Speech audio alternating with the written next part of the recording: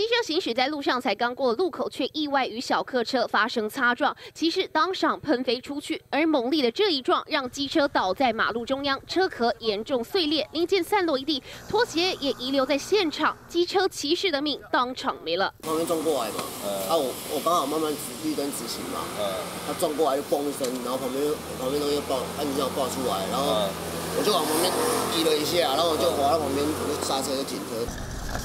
车祸现场一片混乱，被撞的轿车不仅挡风玻璃碎裂，左前方车头还凹了一个大洞，钣金全部都坏了。这起死亡车祸就发生在一月二号凌晨三点，大安区信义路与敦化南路路口，小客车要直行敦化南路，机车要往信义路行驶，却闯红灯，直接撞上小客车，当场死亡。那现场机车骑士就没有呼吸、心跳，好，但我们还是请他送往国泰医院来急救，好，但是在凌晨四点多的时候，还是宣告不治。闯红灯的骑士是名送货员，当天疑似下班后要回家，却一时贪快，与小客车发生了擦撞。新的一年才刚开始，却发生意外，造成一辈子的遗憾。记者杨格、林春芳台北报道。